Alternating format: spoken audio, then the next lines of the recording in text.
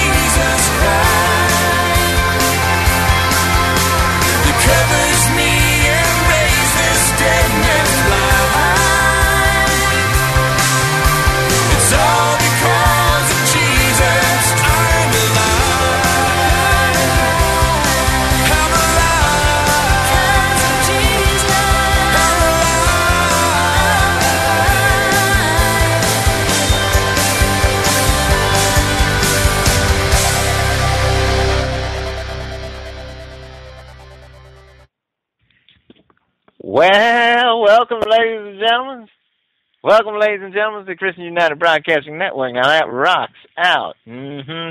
That song just rocks out, and I feel better.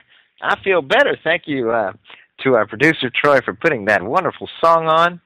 Um, I just feel better in my soul when I worship the Lord. Mm-hmm. And uh, we're working on some introduction. Uh, perhaps me and my boy are even going to sing a song to Jesus in the near future. I I don't want to make any uh, promises, but uh, that's what we're looking into. Whereas we can uh, rock out together mm-hmm, and bring honor and glory to God. Hallelujah. Okay, ladies and gentlemen, we are here. Amen. It's a Friday, 1800 hours military time. If you're interested in to hear, uh, you can go to blogtalkradio.com forward slash radio preacher man to catch on the archives. And uh, go to radiopreacherman.tk for uh, for chat room, amen, or to support this ministry. And without further ado, I'm going to invite my uh, gentlemen callers to come on the phone. I believe we have tonight Gani and Basil uh-huh, from uh, Face Like the Sun and uh, AgeLikeTheSeed.com and CanaryCryRadio.com. All right, gentlemen, Hello. how are you? How's Yeah. it going? Good, Very are you? nice to talk to you. Yes, yes, yes. It's going very good, very good. I think so. Thank God it's Friday, right? Shabbat Shalom and all those things. Absolutely. yeah, we're almost there. Hallelujah. And I can see that that probably was not offensive uh, to you, based on what I'm seeing on Face Like the Sun here. Amen. but yeah, uh, my wife asked me just now, if you didn't hear her in the background, she said, ask how y'all met and how y'all started such a ministry as this. Oh, absolutely. Yeah. Uh, this is Basil, by the way, and um, All our right. partner Gonz here. We uh, we actually met at work. We worked for a uh, a church together, and we actually got sort of transferred into the same studio doing you know different sort of technical work like we do on the side. And uh we we worked for so long with our backs to each other never really talking didn't really actually meet officially or anything. And then uh, uh and then there was one week where we had a uh sort of a uh devotional time or or like a staff meeting. And um there were a couple of small little uh, comments that we both had made during the meeting that sort of, you know, hinted that we are sort of interested in the same kind of stuff with the, you know, with the um, sort of fringe Christianity and the conspiracies and things like that. And then we just sort of started talking, and you know, once the ball gets rolling, you know how that is. Yeah, but y'all worked at a church together, and hadn't Yeah. really. uh I guess you were doing your thing, and he was doing his, and just one day you found Yep. out you had these common interests and uh you know we have a lot of people on uh that uh, we discuss a myriad of topics and we do get on the fringe once in a while ain't no doubt about that you know pretty near nightly Yeah. because my wife does the scheduling so uh in fact this Right. week i had on alfred webre and uh he's been around for like 40 years man he wrote a book in like 74 when we were babies if you were born yet even at all All right. and uh I think I was barely a twinkle in my dad's eye at that point.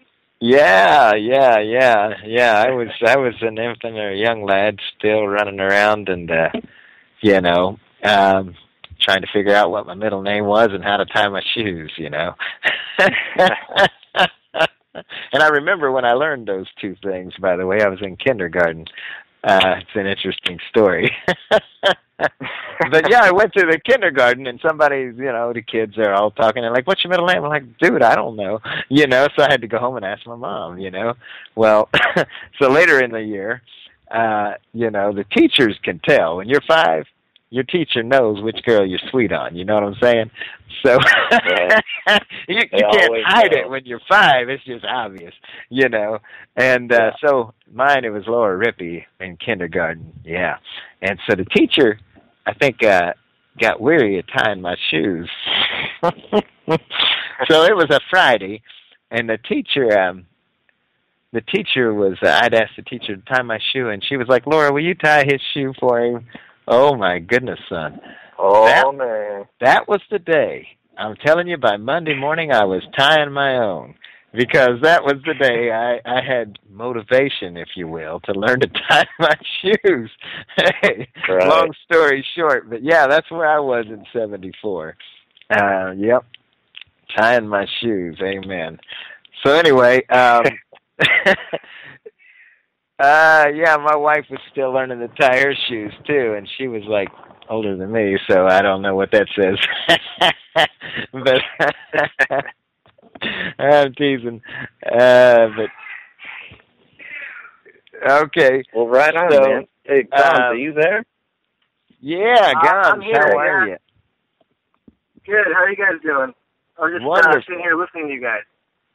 Yeah, yeah, we're just going down memory lane, embarrassing myself, you know, and but um I was looking and uh you know, I've had I've had some folks on that discuss things such as this and I I was actually in Ephesians this morning and this was prior to seeing that you have Ephesians 5 and 11 up on your up on your website. Um I came out to the kitchen this morning, yes, and my wife happened to have the book of Ephesians playing on the computer. And uh and so I went back and and replayed 3 4 and 5 I was all in that area uh quite a bit this morning you know cuz I kept hitting the back button and let it play again. I was trying to get woke up trying to sink it in trying to get that scripture in me you know.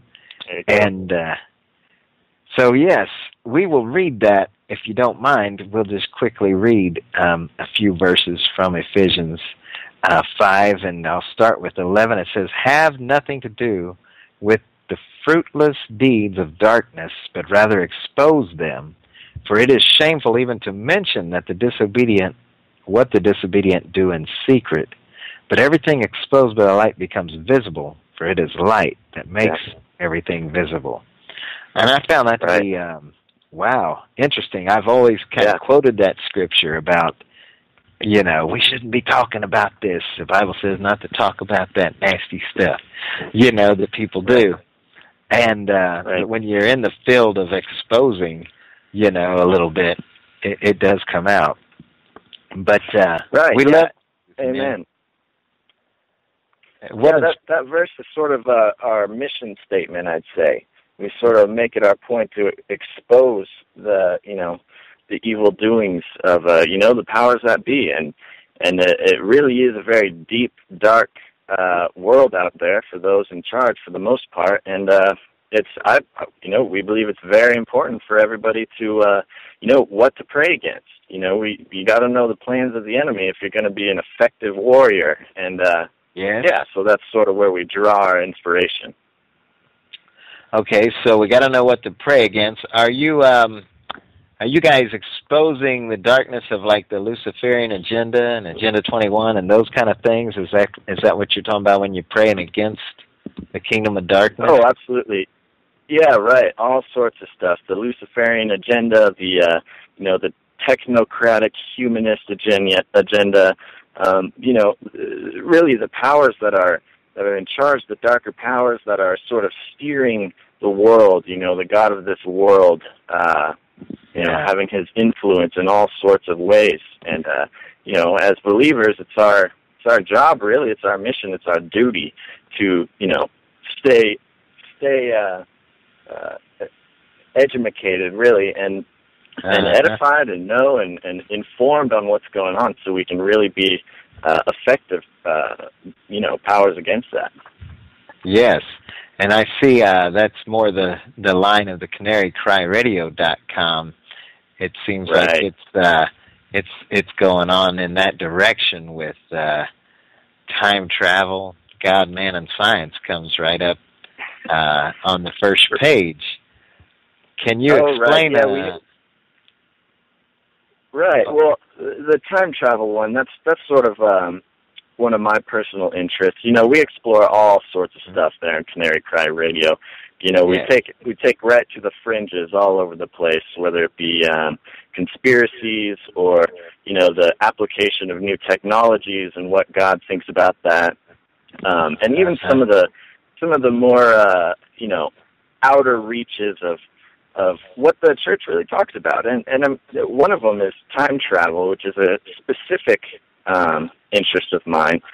And uh, yeah, I mean, whether or not time travel is real or it's possible, um, you know, it's it's one of those things where if by chance time travel became, you know, a thing of the present, you know, what does God think about that? Is that off limits? Or, you know, as believers, how are we supposed to respond to something that sort of wants to throw a monkey wrench sort of in the way things that in the way things work?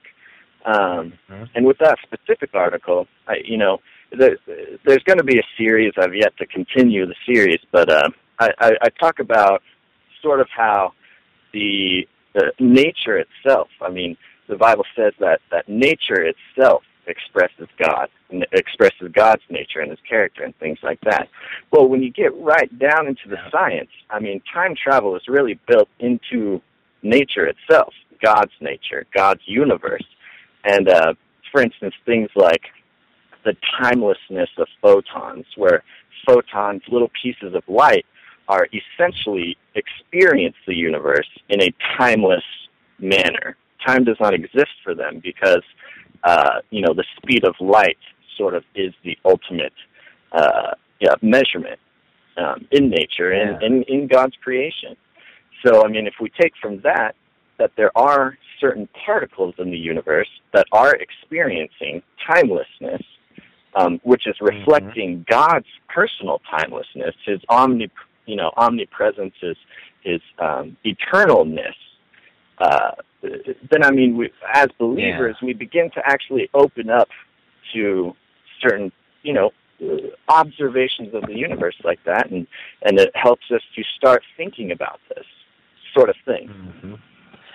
Well, You know, Um, um, we we had discussed time travel a little bit in in some recent episodes. So I just kind of wanted to get your your input. And I I just don't see. I mean, maybe because I don't understand it. I know there's things like portals that they talk about in the sky, and the, but I I don't see Right. how time travel is is feasible for mortals. Uh, just to be honest, from my point of view, because I guess because I can't grasp the concept of it. You know, I just Right. I feel like um, if we were transferred into our new body uh, after we go to be with Jesus, then maybe we'll be able to do such things and see what went on in 1952. You know, when Harry met Sally and all this. Uh, and Absolutely. and I just I don't see it how it, how it could even be possible um, uh, Right. for, for a mortal man. Uh, I understand Right. space travel and things like that some, but time travel seems uh, beyond my grasp. Well, and, and that's where the basis comes in that time and space are actually part of the same thing. Um, you know, we like to think of time as this sort of separate dimension, uh, something sort of ethereal and, you know, can't quite grasp or define it.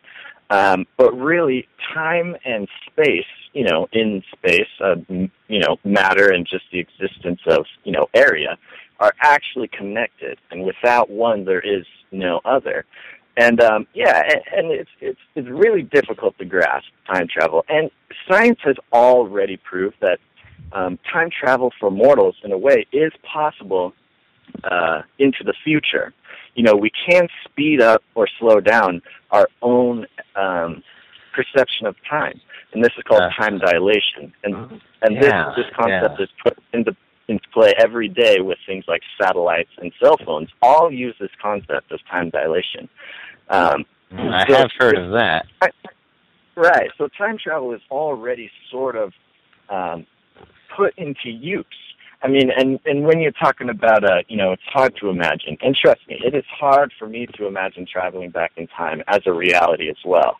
Um, but that's just sort of that's sort of the human condition. I mean, uh, Well- 200, 300 years ago, there's no way that somebody could have, um, you know, Yeah. uh, imagine sending our voices a thousand miles across the country and having it be heard by somebody else. That just was not even something to consider.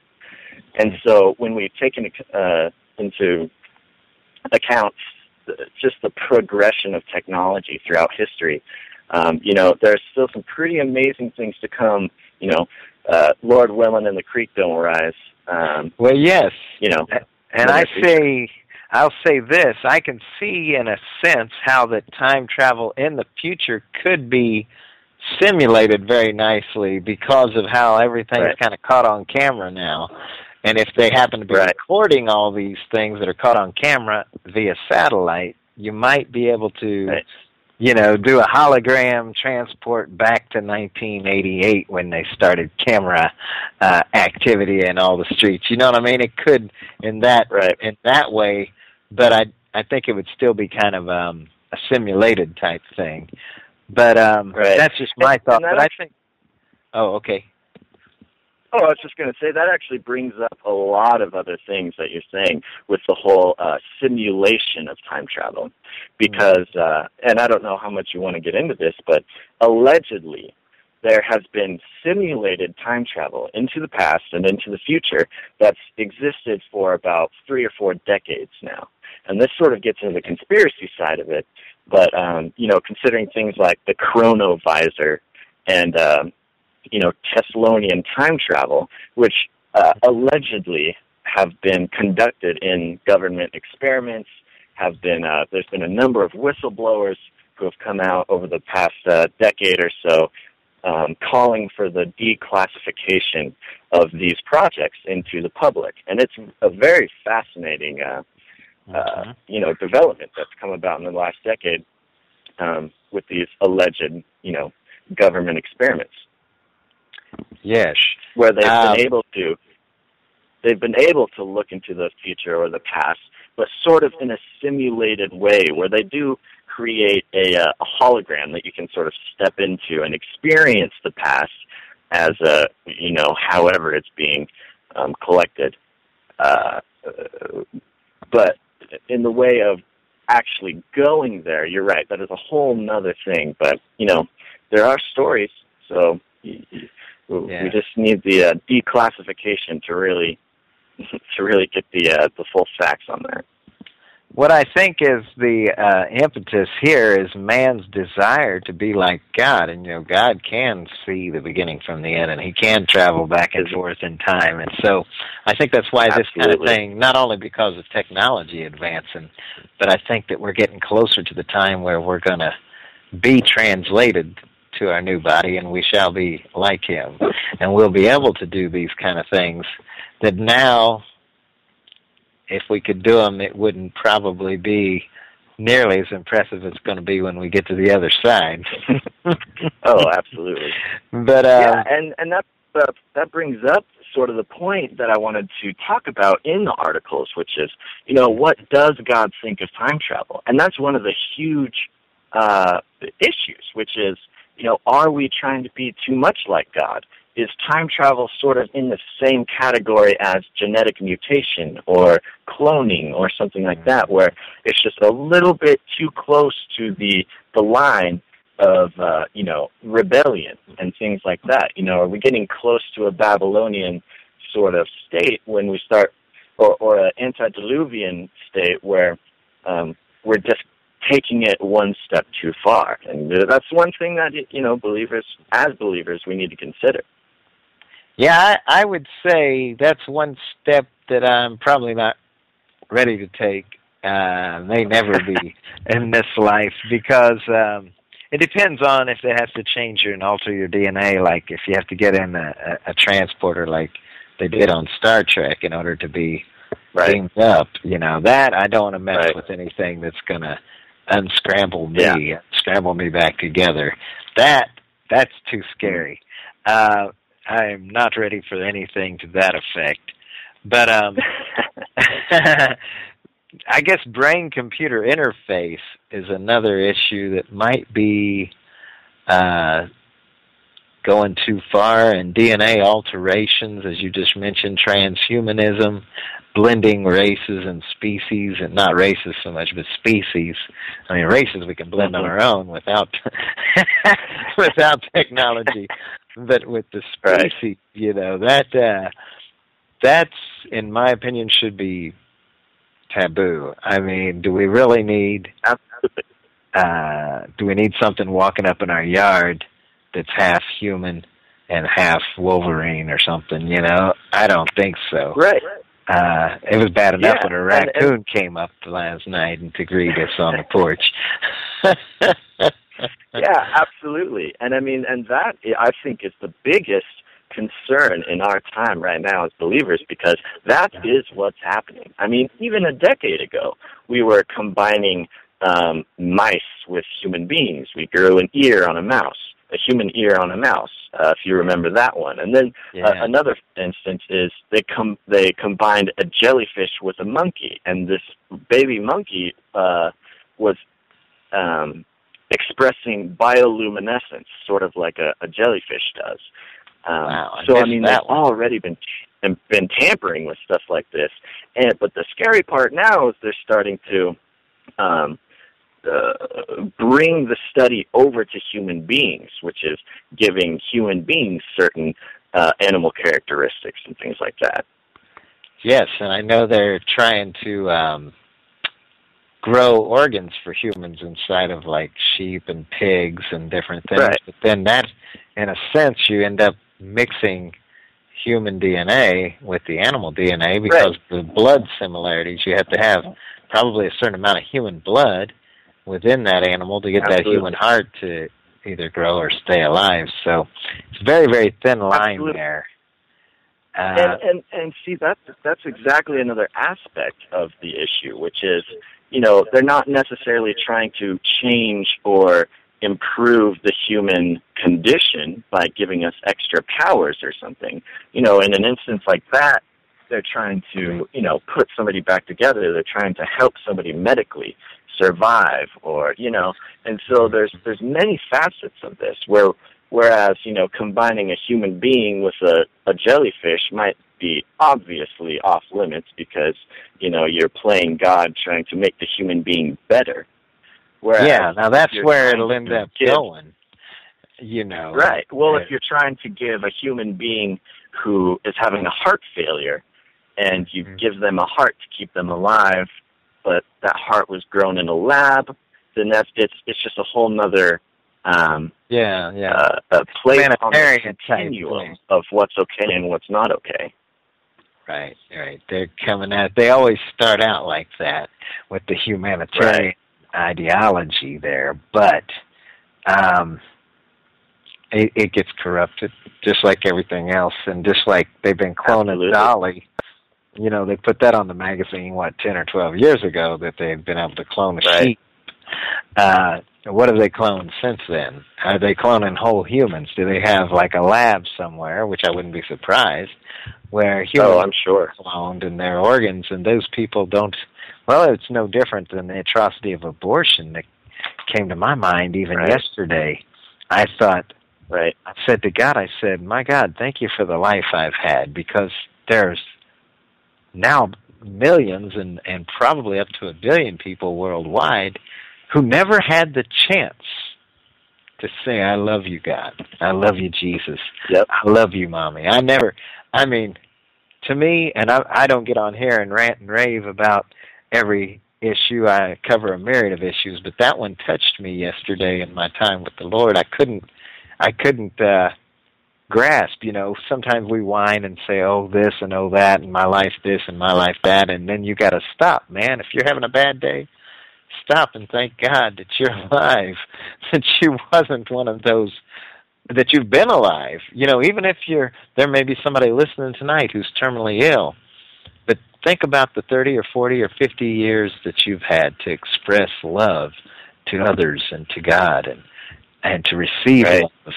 Man, I mean, when you think about for 40 years here next year, fellas, that they've been taking and ending people's lives before they even get out of the womb. Wow. We got something to be Mhm. thankful for right there. Yep. But Getting back to this, do you think, I know they're trying to preserve life and these kind of things, but do you think that it's because people are now, and I know the Luciferian people, of course, it's probably a given, but the people are not wanting to die. They're fearful of death because, as a whole, people have stopped seeking the Lord like they should. So when you Mhm. when you when you cease to lean on the understanding of the Lord and you start leaning on your own understanding, then you got to figure out a way to stay alive a little longer. you see what Right. I'm saying? Right. Uh, Yeah, no, absolutely. And and eternal life has been a a huge uh it's been a you know, a a mission for human beings, you know, forever. Ever since the ancient times we've been trying to live forever and you know, it's uh it's getting to a strange point in history for sure where, you know, using different science and genetic uh engineering and, and technology, it's it's getting closer to reality than I think a lot of people think. mhm, Yeah. Yeah. Hey, can you guys hear me? Yes, sir. Yep. Yes, sir. You guys can hear me? Cool. I've been Come on waiting in. in the wings, but uh, well, I- I was just going to comment on the living forever. These, these, uh, we on episode five of Canary Cry Radio, Basil and I talked about uh, this conference that happened in Russia um, a few months ago, where a lot of these leading scientists and technologists came together and talked about how humanity will achieve immortality by 2045. And I'll be. this is really this is really predicated on man's ability to um, manipulate nature and conquer nature, and um, that that whole concept is again found in a lot of esoteric writings, and uh, it's the same con- concept all the way through. Um, but it was interesting that um, just last episode, Basil and I were talking about uh, um, the difference between a, a 1984 style uh, conspiracy and sort of a Brave New World style, where pleasure is sort of the uh, the way people are controlled. And we talked about how both Hmm. uh, both are happening at the same time. And um, you know, to me, that just shows uh, what is behind this, and it's definitely a spiritual conspiracy and not so much individual people or organizations, uh, you know, conspiring knowingly. It's, it's again a spiritual underpinning. But um, yeah, going back to the the, uh, the Yeah. immortality thing, the same thing. It's the same spirit that's behind it. hmm Kind of what uh, the devil, the serpent, if you will, promised Adam and Eve in the garden. You know, surely you will not die. You'll be like God. You'll understand things. You'll see things. It's the same thing, gentlemen, that we've been dealing with since the beginning. And uh, well, the devil wants to be God, wants to play God. Hey, the Antichrist is going to claim to be God and prove himself to be God. You know, prove himself, of course, in his own eyes, and well, in the eyes of some people, I guess they'll fall for it. But uh, God help them. Uh, Yeah. This is this is where we're at with this summer and the bible says too that in the end times that men will want to die and will not be able and they'll call down for the rocks to fall on them you know to save them from the wrath of Right. god now Right. that's a scripture that perplexed me most of my life i believed it because Mhm. it was written in the scriptures see but I couldn't understand now how is that that a man can't blow his head off with a gun or crash a car real good against a tree and die? I mean, what? Right. It's got to be Well, one it's, of these it's, things. it's interesting. We we we talk about that in, a- in a number of episodes, um, and, and sort of, um, you know, we talk about the many different ways that this could manifest itself in reality. One of the ways, which is very interesting, and you know, again, this is just something that we were uh, playing around with as possibilities. Well, one group of people is trying to work on um, capturing uh, brain patterns and brain waves and uh, communicating them and storing them into electronical devices. Um, you know, it's, it's sort of akin to an AI or something. Well, in these people's beliefs, your personality, sort of who you are, and you know, in in, in some modem of truth, it's it's it's uh, you know, our earthly brain sort of has a lot of influence over our personality and things like that. Um, well, their idea is to uh, copy our brain patterns, essentially our personality, and put it into a computer. Now, Mhm. Just playing with the possibility that this is that this is possible. Let's just say they did that, and they took your personality or your consciousness or whatever, and they replicated it inside of a computer. Well, what does that mean for your soul? What does that mean for you? Are you is your consciousness now? I mean, if your body dies, is your consciousness now um, stored in this computer? And if it is stored in this computer, you can't die. You're in there. You're stuck there forever until somebody decides to whatever, uh, you know, throw you in the recycle bin or something. Um, Uh, and in in that case, that would be one sense where you know you would wish to die because at this point you're just sort of um, stuck in this cyber abyss, which is waiting to be used by some you know whoever's controlling the device. And I know it's a, it's a very outlandish thing to think about, but considering it's what people are trying to do and it's a de- development happening in technology today, um, you know, uh, it, there may be a chance that that might be something in the future. yes, and and, And, then you, and, they would be able to influence then you Mhm, to take the Right. mark of the beast, and exactly. I mean, that, Yep. you know, they'd wear you down over time. You know, yeah. uh, Oh, absolutely. and that may be why and the then Lord when you start said. thinking about, I'm sorry, continue. Yeah, I was going to say real quick that may be why that the days are shortened for the very elect's sake, or none would be saved. Yeah. Yeah. And you were going to say uh, something. I'm Oh. sorry.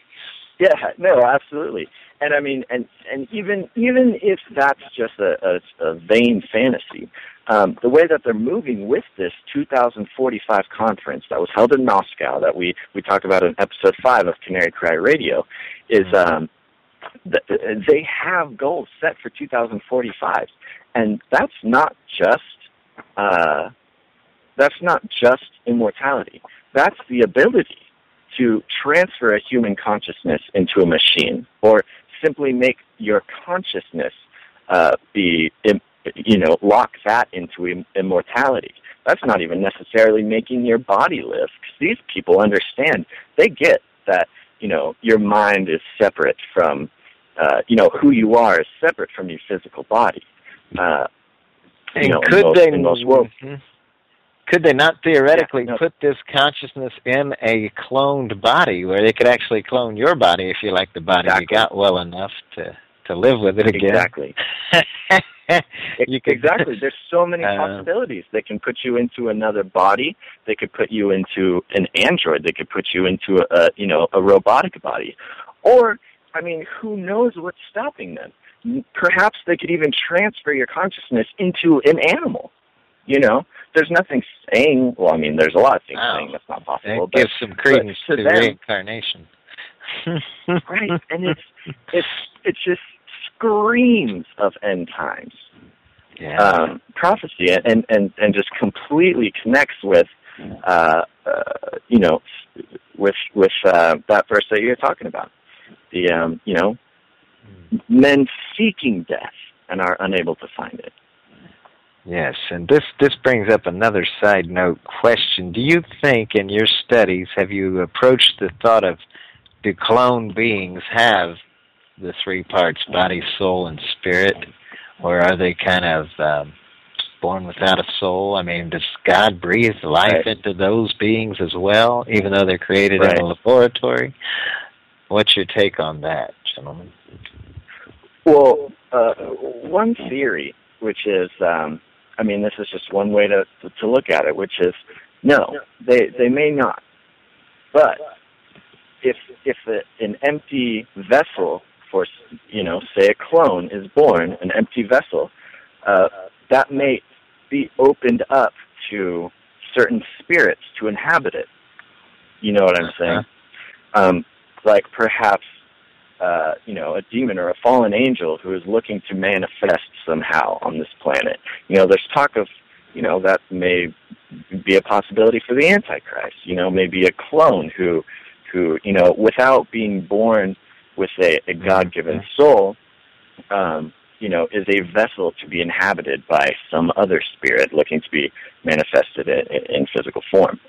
Um, but I, you know, I'm not at the point necessarily what I, that I would say um, that these beings are exempt from receiving a God-given soul.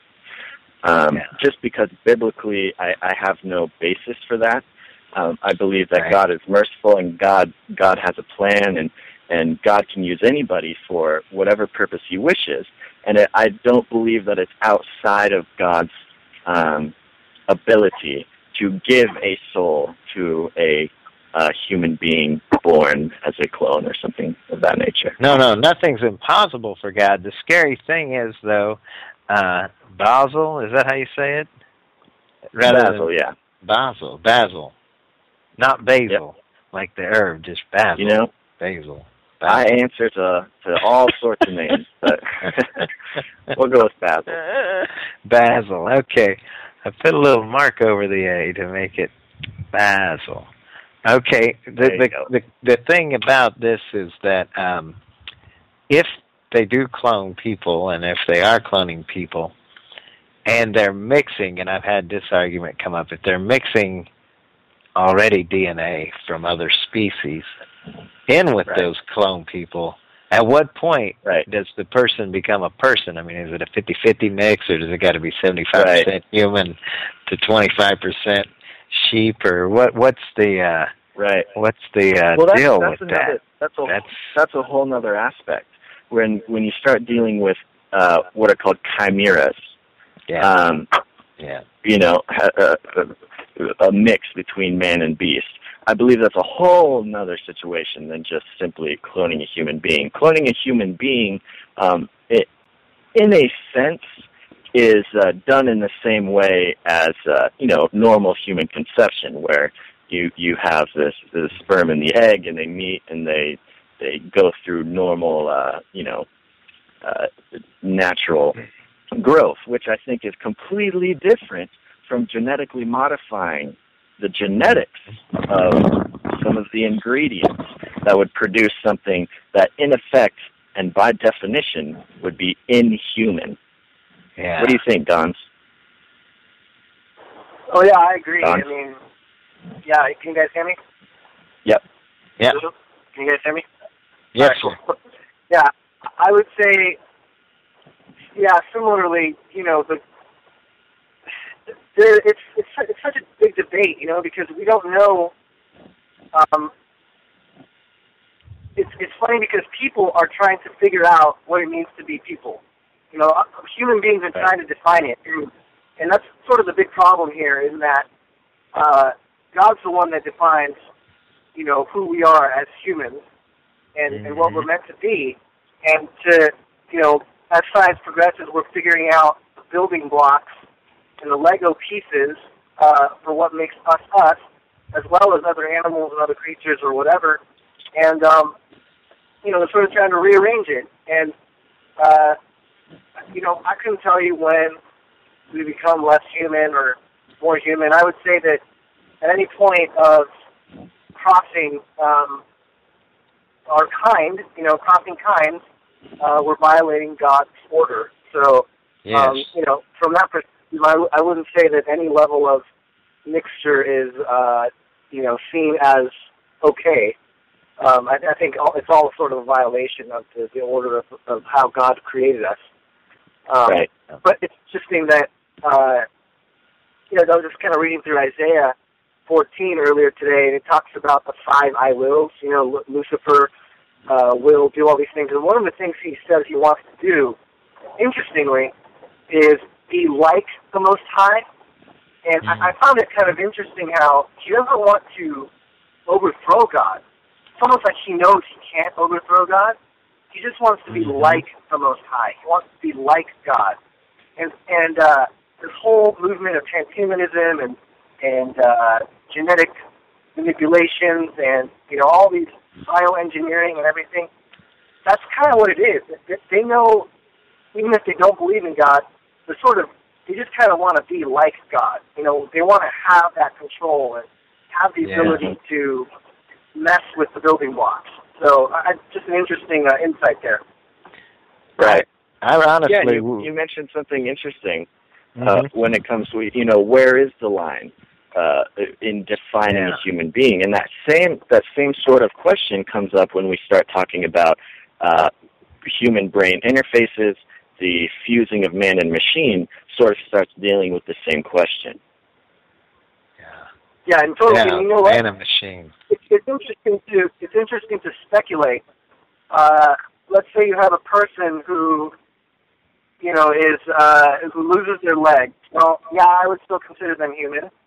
Mhm. Uh, what if they lose both their arms, their legs, and you know, their their stomach or something? Then they're, they're still human. You know, you can still talk to them. What if they're just a, a head fat? You know, uh, are they still human? They don't have a human heart, but somehow they're being kept alive. Is that still human? And so it really starts to get uh, yeah. uh, speculative, and, and the question of ethics and the question of, of humanity really becomes obscure. And I think that's why, um, you know, God made it pretty clear uh, Right. about who we are, what we what we are. Right, and then you start talking. You you were talking about taking away of body parts and asking if we are still human.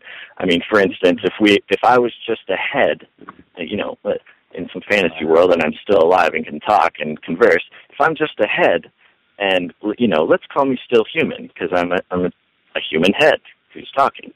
Well, now Yeah. what if we put my human head onto a mechanical body? At that point, am I still human or am I something else? Right. Yeah, because we've all seen that in the movies where they have the guy head in a jar and it's like talking or Right. the brain in the jar and that was from the old sci-fis but you know the movies Right. and television shows have set us up for a lot of this the bionic man came to mind as you were talking about Mhm. all this if I had a leg if I had an arm you know if I advanced the hearing there's so many things that they uh, set us up for and so I think Right. that the media, the power, this the B, the uh, Luciferian ones, or whatever, you know, the elite, they they've been programming us to accept all this for for decades. You know, Absolutely. uh, I happened to be watching just a few nights, well, about a week or two ago. I I was up in the middle of the night and couldn't sleep, and I was channel surfing a little bit, and the movie Twins was on, with uh, Danny DeVito and Arnold Schwarzenegger. Do you remember that? It's from the middle '80s, probably about '85 or '60. Yeah. Judging by the age of the cars in the movie, uh, and it was like, what was funny was that uh, you know Arnold was all that. He was smart and big and muscular and handsome and everything, and then Danny DeVito was his twin. And then they got to the place where they were conceived in this laboratory, and they're meeting the evil doctor, and he was like, well, you know, Danny DeVito was all the junk uh, DNA, and they he wasn't supposed to live. He told him he was. Like, you were all the bad Right, parts, and you know that bummed him out uh, for a minute. Yeah. but uh, Oh, so that was just a, a hilarious concept uh, that you would have all the good DNA in one and all the bad DNA in the other twin, and they would Yeah. try to make a perfect person and all this, uh, which gets back to you know the concepts of Hitler and that whole you know the perfect race. Oh, yeah. Man, this stuff Right. gets it gets deep, don't it, fellas? And uh, Right. Oh yeah. And yeah, yeah. I- I mean, essentially, this this quest that we've been on to perfect ourselves has time and time again just become a disaster. And I mean, I think that's that's something to to keep in mind. I mean, you look historically, every time that somebody um, has you know come to power who who desires to um, become perfect or live forever or create a perfect race, I mean, it's always a disaster. I mean, obviously, telling by where we are now, we're not perfect and we're not, you know, uh, living forever. It, it is time and time again, our little towers that we try to build have crumbled to the ground and we end up more confused than ever. And it makes me wonder, as I, I mentioned earlier in the show, gentlemen, what what motivates a person? I mean, it has to be a fear of death, even for like Osiris, uh, you know, uh, and all these gentlemen. Well, I, I lo- I'm definitely using that term loosely. You know that have tried to build towers to heaven and for the Babylonian kingdom, and and just Hitler, and just it goes on and on the list. Mussolini, and it's like, what motivates people Yeah, to to do these things? absolutely. I mean, to not accept the fact that we are immortal, or are they?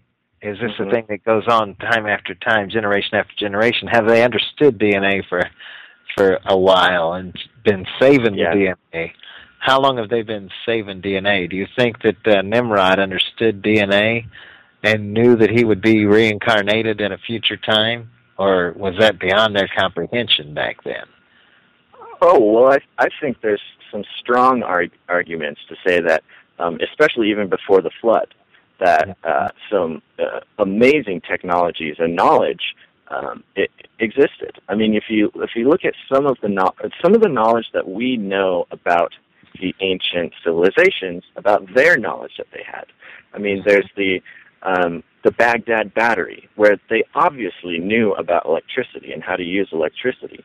Um, and they and the um I forget what it's called, but the machine that they had where it has something like 50 levels of very precise gearing where it can um, tell exactly when the next uh, solar eclipse will be out, a thousand years ahead.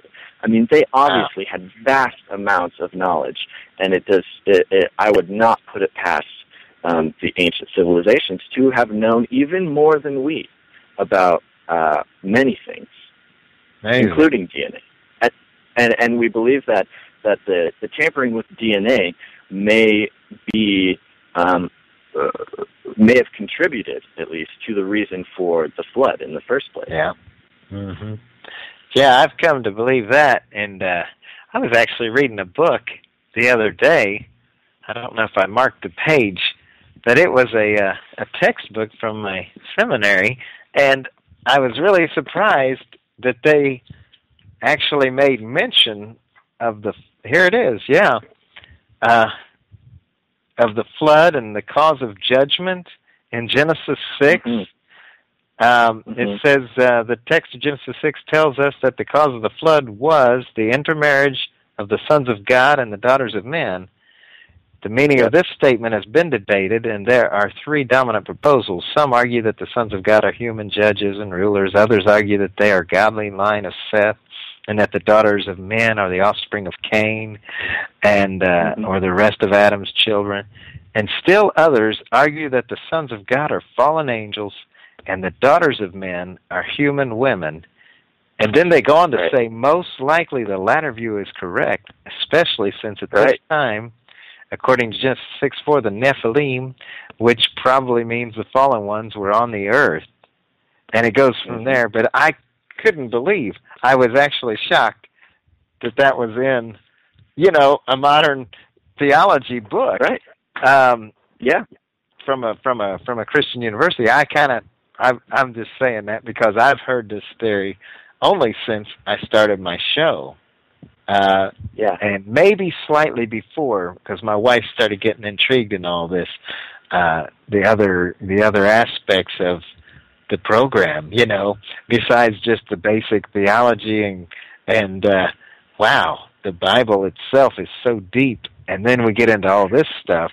Woo-hoo. Yeah. Well, it's getting yeah, deep. I think there's there's a time when this stuff was going to become clear, and I think this is Mhm. where sort of the next generation of church needs to sort of step up and and take this information and it's going to be hard for a lot of people who call themselves believers and Christians to swallow this sort of concept of Mm. these, you know, angelic beings coming down, mating with women, but it's there. It's in the text. It completely alters the trajectory of the Old Testament and how you understand certain events. Uh-huh. Uh, and it also it also paints the picture of Yeshua, Jesus, and his mission, and completely. Uh, I mean, it doesn't completely change it, but it gives it this new perspective that is really cool. You know, it's sort of it's sort of Yeah. revitalizing the story in the modern uh, sense, and so that people who are in this sort of scientific genetic age, they can understand um, how the Bible relates to them today. You know, and this this Right. information is, I think, vital in in that process.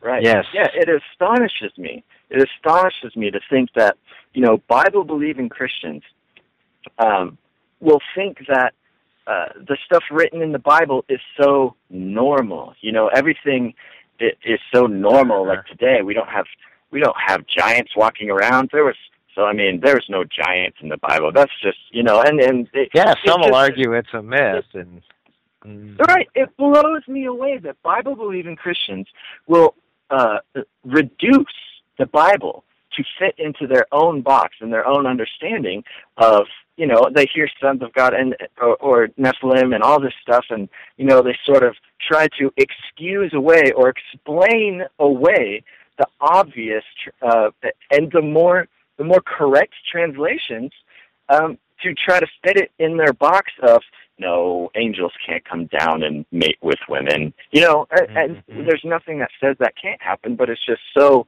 uh, you know, uh, I, I use this term very carefully, but I mean, uh, and without personal belief, but they they think it's so bizarre that they uh, they just want nothing to do with it.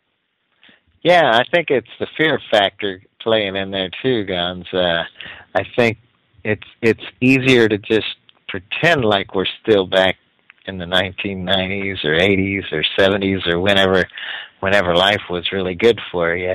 Um, but uh, it's like we are where we are, you know, and these things are going on. And I know that uh, I don't believe that's necessarily what the Bible was referencing when it says to not mention what the disobedient do in secret, but my goodness, it is shameful even to mention. That's I always took that as uh, talking about sexual sins and things like that that we shouldn't talk Mhm. about uh, uh, in Ephesians here. Um, but it may be that uh, there are things going on that many people don't want to talk about today. I'm taking that totally Right. out of context. I've tried to Right. talk to some people about some of these things, and they're very closed to it, as you mentioned. It scares them, and the Bible does say that Yeah. too. That in the end times, that men's hearts will actually fail them for fear, seeing the things that are coming on the earth. So that Right. says great things, man. I I don't deny what the Bible says. for a minute. I've always Right. taken it at face value, and unfortunately, some of it we don't want to see come to pass. Okay, Mhm. um, well, we've we've almost run out of time. I was going to ask you something about uh, the Face Like the Sun website, um, but I think we'll stay where we're at, and we'll cover that another time because we only got about four or five minutes left. So we'll just keep this on the far side, if you will. Um, do you feel that aliens, as I, I've come to believe, the whole alien phenomena in my mind is I believe Mhm. fallen ones, you know, demons, an- fallen angels, however you want to look at them, uh, disguising and masquerading themselves as aliens Right. uh, for the sake Mhm. of, of of doing terrible things. Because I've had several witnesses to say that uh, they were able to stop like sleep paralysis, alien abductions, and things like this by by calling Right. on the name of Jesus, by rebuking them in the name of Jesus. Absolutely. You guys agree with Yeah. that then? That we still have One the power. hundred percent. Yeah. Amen. Absolutely. Awesome. Absolutely, 100%. And especially because things like uh, experiences with demons that people have had, experiences with sleep paralysis that people have had, and experiences with aliens that people have had are, are uh, they explain them, and, and they're so similar, you know, that it is not a coincidence that somebody who tells us about an experience with a demon they had and somebody who has an experience with an alien, that there's no coincidence that their um, testimonies can be almost exact. Mhm. And so, um, so uh, you know, I have no doubt in my mind about uh, the whole concept of the Great Deception, um, the Yeah. malevolence of uh, visitors, you know, quote unquote visitors from other planets, and you know, who knows, maybe from other planets. There's nothing that says that demons don't live on other planets as well as Earth, but um, yeah, no, they're not. I do not believe that they are, um, you know, here for our own good or or you know, scooping us up and messing with our cows at night uh, to help us out in any way. Yeah, yeah, yeah, yeah. We can DNA alter our own cattle, thank you. We Oh my goodness, which we may have to figure out how to make cattle grow without much grain after this drought we're Yeah. having this year. Um, oh, absolutely. I've heard that they're taking Well, a lot just of a, a real quick, yeah. a, a Just- little tidbit on that, just going off of that. Uh, there was um, a, an article I saw recently that talked about uh, 3D printers and the possibility of printing uh, meat and, and you know making sort of synthetic meat that Oh. you can sort of you know I don't know email to a friend or something and and they can print it on the other side and they can cook it and eat it. So uh, we're going to be living in a very strange world in the near future. Yeah, Oh man. yeah.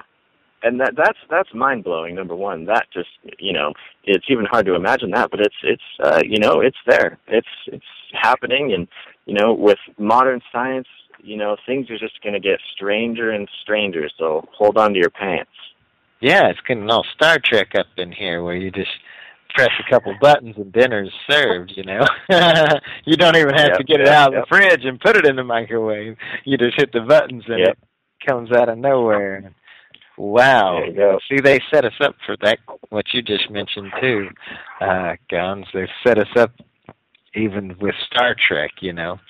It's kind of been Yep. pre-warned, and I've come to find out that, you know, they do that. They kind of sneak stuff in shows. And, you know, the. City of Angels, where the angel comes down, falls in love with the doctor, and, and he has to give up being an angel in order to fulfill his dream of being with her. Uh, but, you know, what are their children? Hmm, makes you wonder. Their children are going to be Nephilim, maybe half angel and half human. You know, if they if they There you go. that may be how they accomplish. I've I've asked several people on my show, and we are about out of time. I'm sorry, but I've asked several people.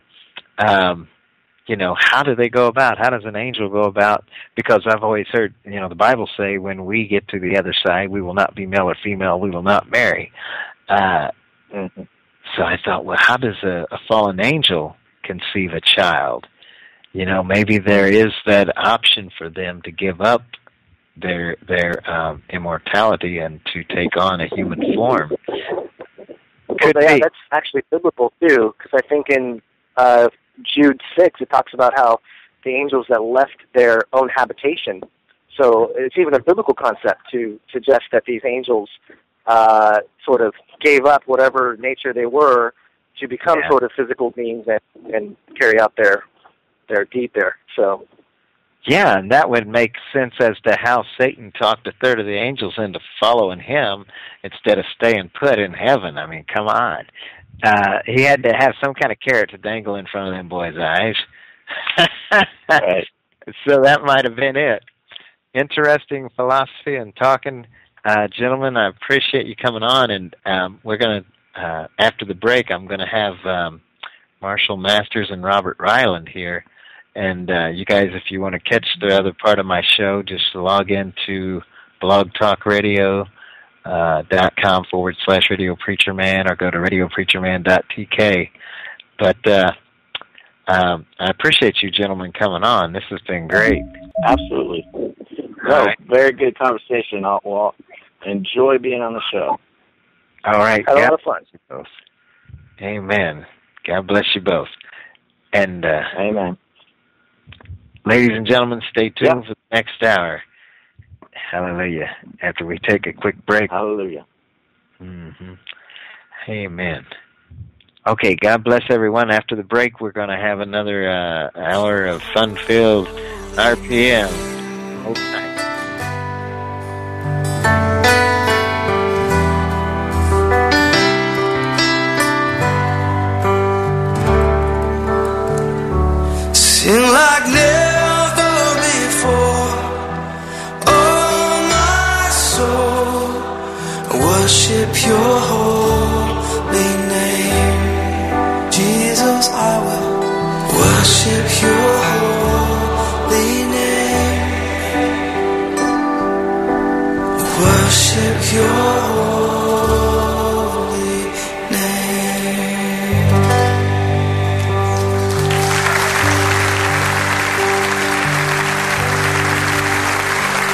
Welcome to the all new CBN Praise from the Christian Broadcasting Network on CBN.com. CBN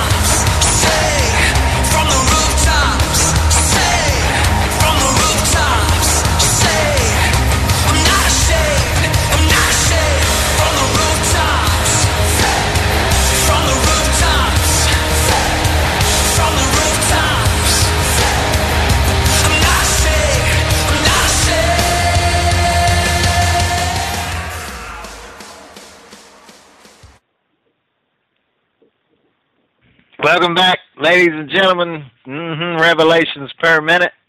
Revelations per minute. Radio preacher man here, Brian Wilson. I just had to take a quick break because my voice was feeling like it was trying to give out, like it did last night. Oh my my, my voice last night was really trying to give out on a brother. But um, today we are going to get a gander into this book. But uh, this is a huge book, ladies and gentlemen. It's called Jesus and the Third Temple: The Complete Guide to the Ancient History and Secret Rituals of the Red Heifer Ceremony. And uh, this book is uh, over 600 pages long. It was originally a smaller book, and then he made it into a big book.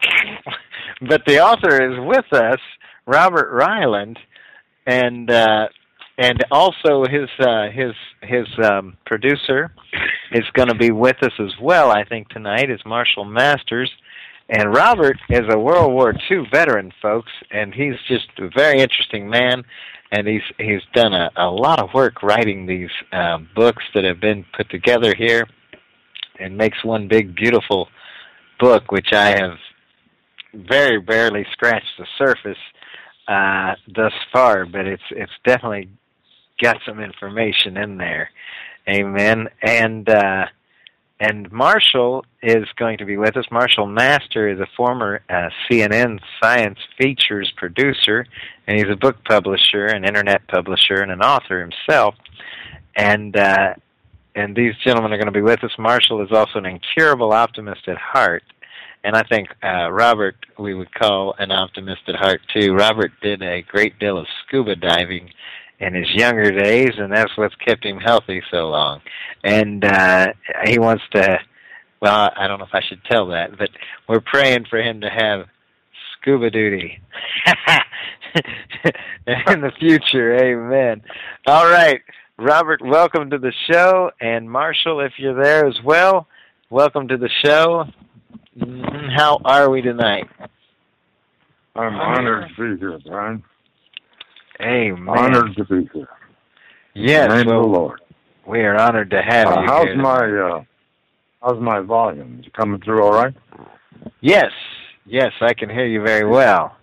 Mm-hmm. Five by Sure. five, as they used to say. How's that? I also served in Korea. I went back for seconds. Oh yes, that's right. That's right. I went to Korea too, but much later. They had called it a ceasefire before I ever got there. You believe that? yeah, I was there when they were, we were shooting at each other. oh Um, dear. Now, did you Those find guys it? didn't have much. Of, They didn't have what? they don't have much of sense of humor. They shoot back at us when we shoot at them. You know. Oh my! But your boss Really? didn't. Uh, the sarge didn't tell you. They're Oh wait. Yeah. Yeah. So World War II and Korea. How cool is that? And uh but you got out before Nam, eh?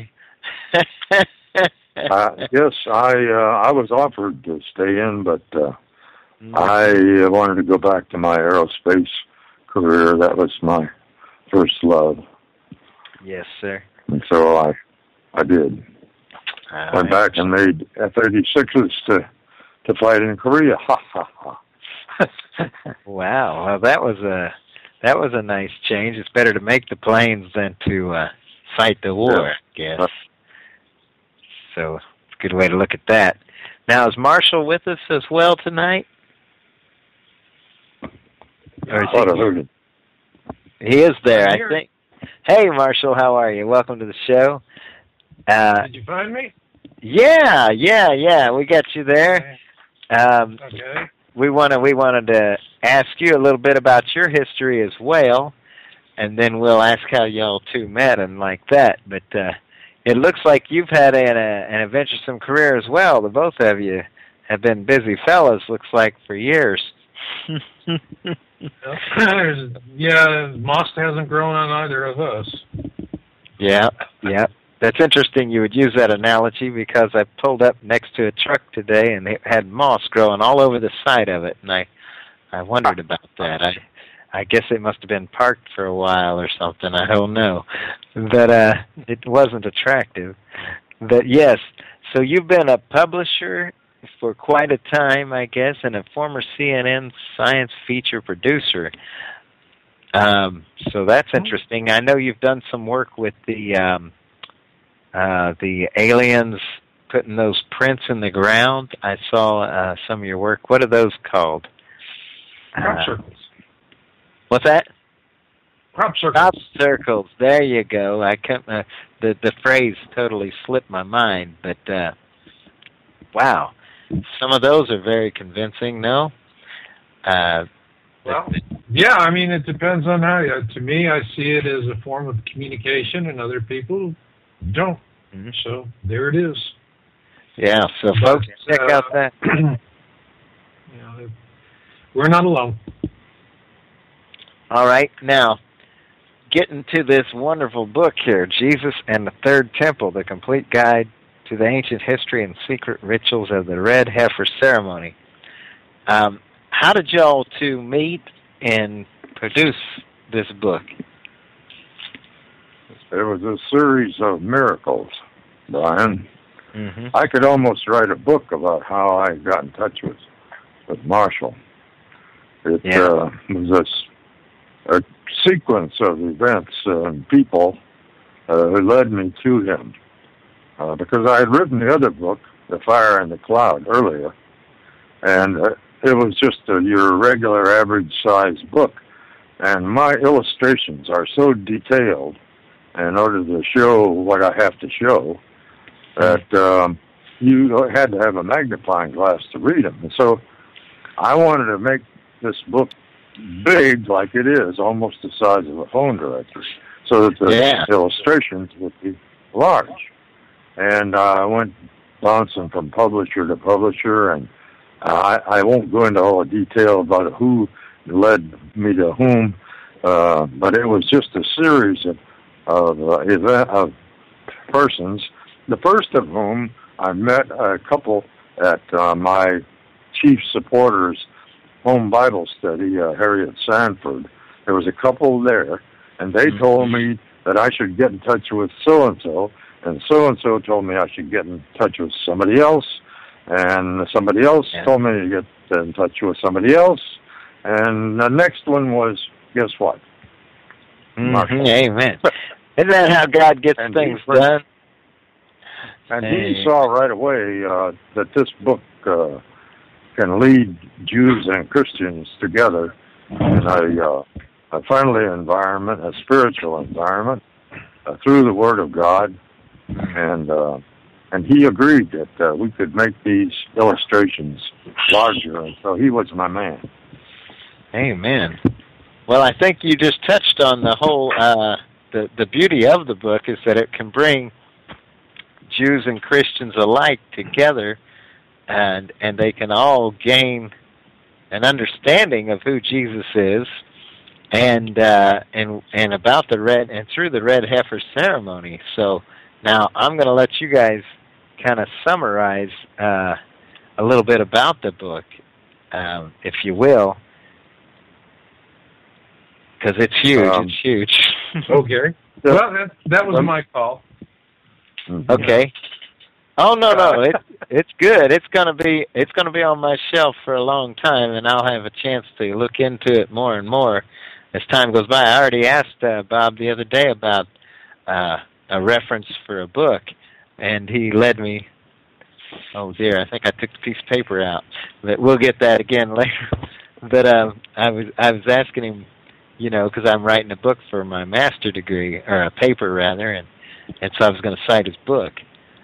But um, yeah, so so um, summarize the gist of this book because everybody's heard about red heifer ceremony, but there's not a lot of common knowledge about that subject, gentlemen. Well, there's not. uh, Go ahead, Bob. that's probably the second major portion of the book. The the main uh, story is the first part of the book, which is uh, the story of the departure of the divine presence from the from the temple, and there are several uh, myths going around out there in various congregations, and uh, they're all wrong. And uh, whereas three historians have recorded the event, and uh, in actuality, it follows Ezekiel's prophecy right down to the letter. Uh, but Yeah. it didn't happen when most of the uh, uh, conservative evangelicals assume that it happened. And it's well documented. In fact, it's the only prophecy in the Bible I know of that's documented down to the exact year, month, date, and hour that it occurred. Oh, And that was written down by our friend Josephus. And, uh, I mean, you can't hardly do much better than that. no. It also uh-uh. verifies. Uh, it also verifies the fact that uh, uh, Jesus was crucified in uh, 30 CE. Uh, that's Christian era for for us uh, born again types. Instead of common era, it's uh, Christian era. Okay.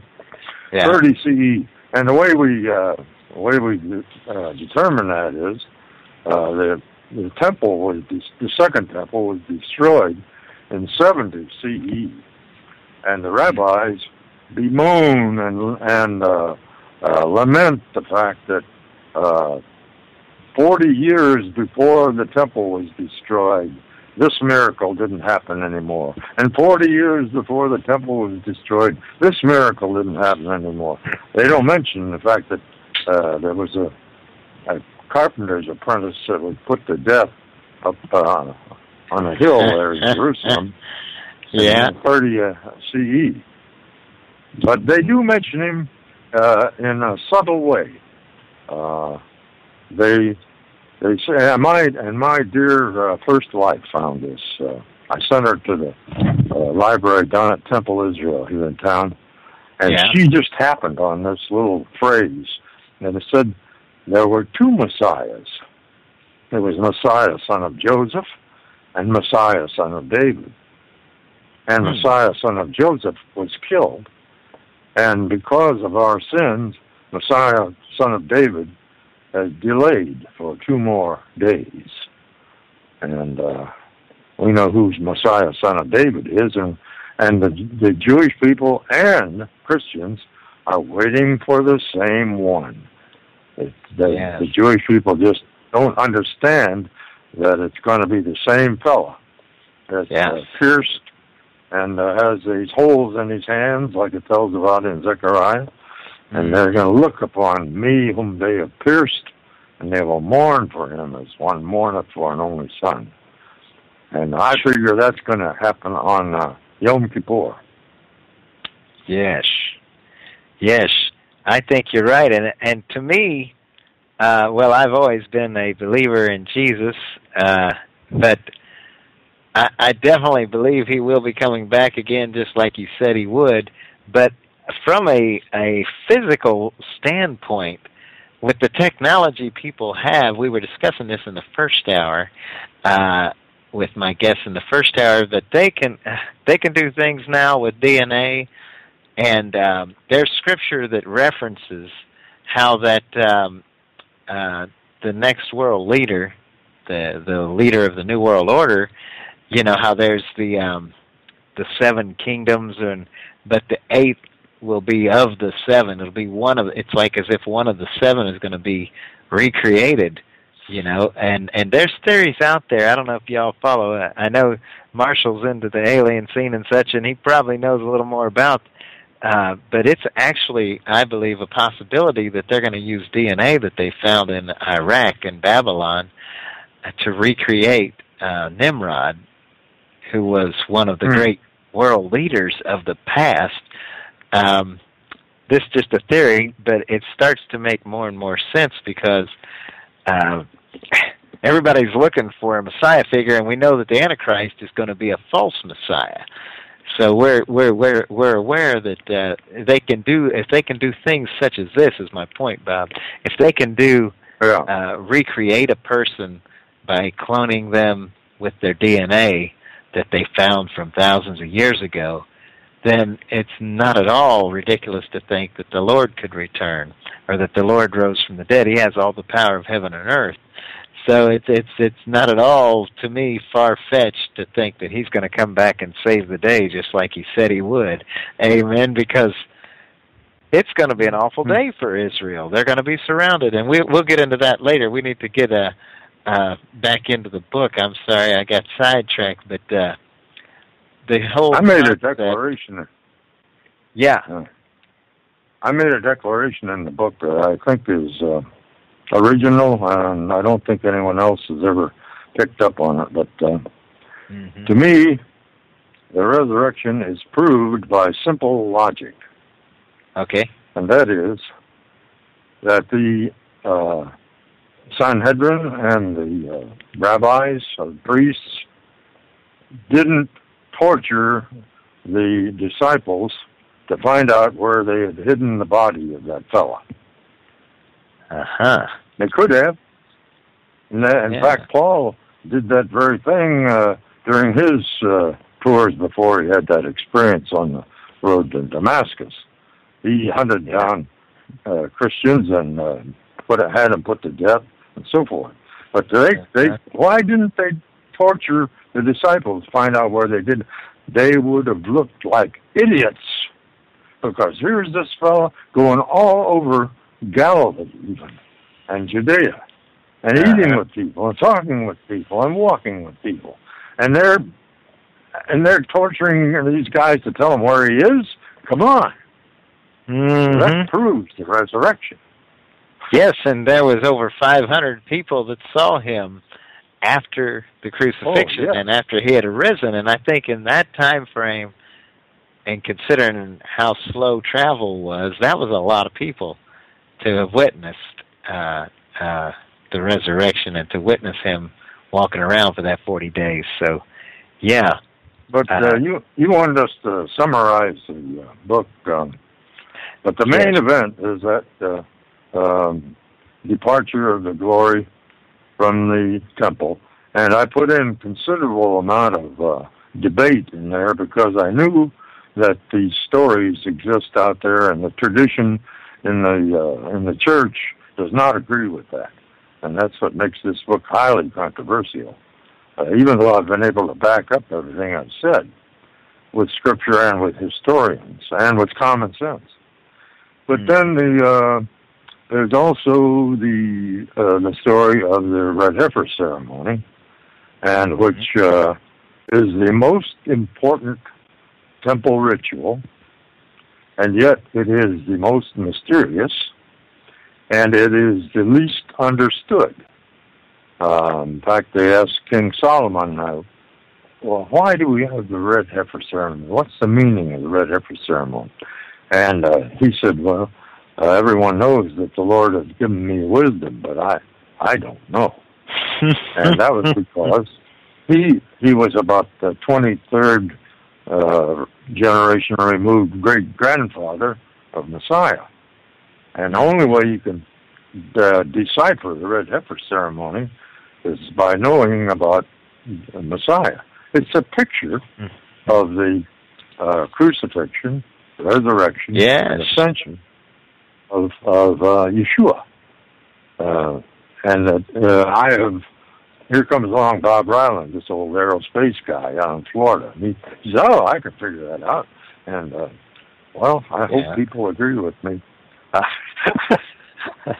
Yeah. I would like to hear some uh, response on it. Amen. It's a beautiful story. Uh, now, yeah. Go ahead. Well, I think we're curious. How exactly is it? Um, can you explain the analogy of the red heifer and the Messiah, in case people are oh, are wondering about that? like I tell Mar- uh, Marshall all the time, I thought you'd never ask. yeah. The, uh, here you have a perfect living being that Uh-huh. uh, is young, and uh, it's it's not a baby calf, but it's it's a heifer, and it's not an old cow. It's it's in its youth and the prime of life, shall we say, and it doesn't have any hair on its body other than red. Maybe only one is permissible, and sometimes they say you, maybe you could have a little plucking, but uh, it's frowned upon. Uh, it's supposed to have no more than one, if uh, one hair other than red. And it has no scars or abrasions. And if anybody ever so much as put a cloak across its back, that's work, and it would be disqualified. And any uh, uh, her, shepherd or a herder who had a heifer that could meet the qualifications, it was like hitting the lottery. It was Oh, worth big shekels. Well, Wow. really worth a lot of money. Uh, in fact, this one uh, man uh, tells about it uh, in the book. Uh, donated the red heifer. He he didn't feel right about charging the uh, the temple for the red heifer, and he donated it, and that was a a big uh, mitzvah for him. But um, the and then I mean here's this perfect being, like we say, and you you kill it, and uh, you sprinkle its uh, blood toward the uh, door of the temple seven times, and I I have a theory on that, but um, and then you you burn it with uh, cedar wood, which is a symbol of power, and uh, with hyssop, which is a symbol of humility, and with red stuff. Well, we found out that the red stuff is the incense that was, that was burned in the altar, which is the reason it's red is it's almost the same color as a heifer. It's what kind of a it's cinnamon. It has about eight varieties of cinnamon, yeah. and uh, they would burn that, and then they would save the ashes of that heifer, and they had to put it with the ashes of the original heifer, the one that was burned by Eleazar in the desert in the Exodus. hmm Uh, all of there were seven qualified heifers burned, and six of those were burned during Second Temple period, and only one, only the one that Eleazar burned, was used and during the Solomon's Temple period. I think that's strange. My friend uh, Professor Yeah. Asher Kaufman pointed that out to me. Well, now, I didn't realize that there had Yeah. only been seven of them burned. Um, Well, there there were nine burned, uh, but mhm. no, nine were slain, but only seven of them were qualified. Now, if the Ah. priest coughs or sneezes or stumbles or uh, miscounts the sprinkles or anything goes wrong, a cloud passes across the the uh, curtain of the temple, anything like that, anything Wow. that's not perfect. Sorry, folks, back to square A. New heifer, oh, goodness. and so those two, and then this is ironic, those two that were disqualified were under the uh, tenure of the two most precious priests of all Judaism, uh, Yohanan uh, and uh, Simeon the Righteous.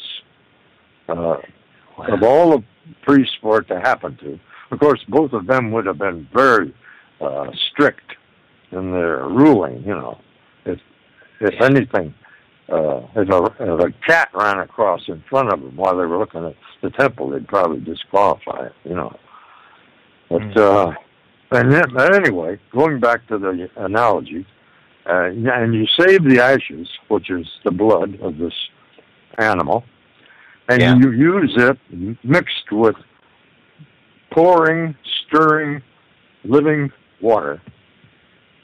And Yes. and you sprinkle that on people who are not pure, who are not clean, who are not perfect, which is all of us. Yeah. And in that way, you can make them ritually clean so that they can participate in certain uh, elements of uh, temple ritual. It wasn't used for everything, but uh, so I don't, and I haven't detailed which rituals they were. But I imagine that the, before the uh, uh, chief priest went in to the Holy of Holies on Yom Kippur, for example, carrying the ash censer and the blood of the atonement coat, he would probably have had to have been cleaned by the ashes of the red heifer. Wow, interesting. Do you do you think that there will be uh, an actual rebuilding of the temple in the near future in order for them to resume this sacrifice. I, I would assume, and I've I've wondered this all my life, gentlemen, if the Jews don't buy into the whole Jesus thing, how do they get around not having the the sacrifice any longer? Uh, and I don't know if if Marshall is uh, able to. I don't want to put you on the spot, but are you able to explain that to us? Why they don't sacrifice anymore, Marshall? Well, you know, it depends on you know which brand of Judaism you're in.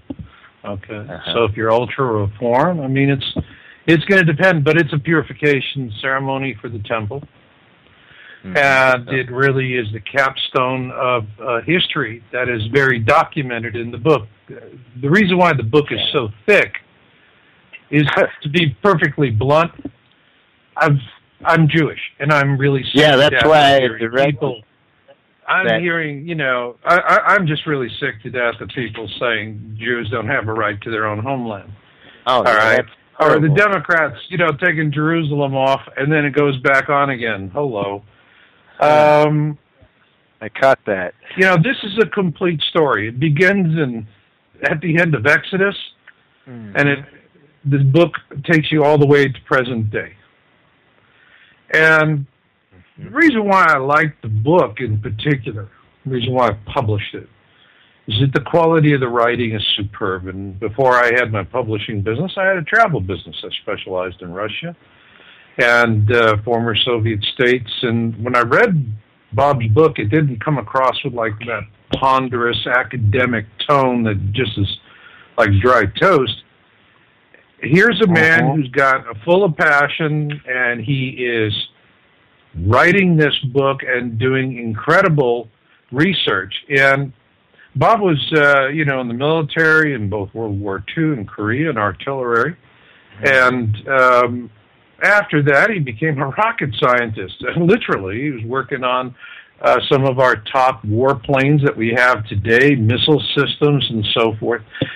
And in Yeah. doing that, what Bob really learned, okay, the difference between Bob and preachers and theologians and academics and historians is that frankly everybody else that talks about it's got their thumb in a rice bowl somewhere they got a thumb in a rice bowl and that rice bowl is more important than whatever story they're telling because that's how they Hmm. pay for their orthodontia but here's bob and he's doing this as a labor of love Mhm. he is just pursuing this story with dogged determination. He has the guts to do something very few people really Yes. do anymore.